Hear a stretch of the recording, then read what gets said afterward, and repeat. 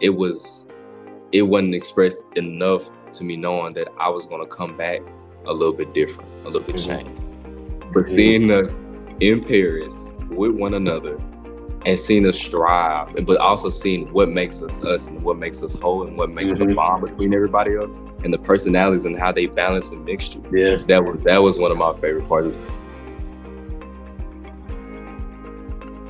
an opportunity to go abroad a lot of people don't get you know just take in the differences take in um, the people that are there and take in every piece of art that you can see.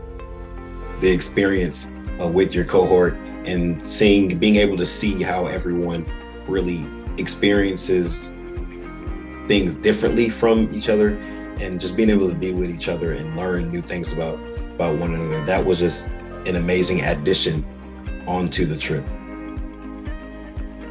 the scholarship is a lot, and this trip has made it even more known that it's a lot.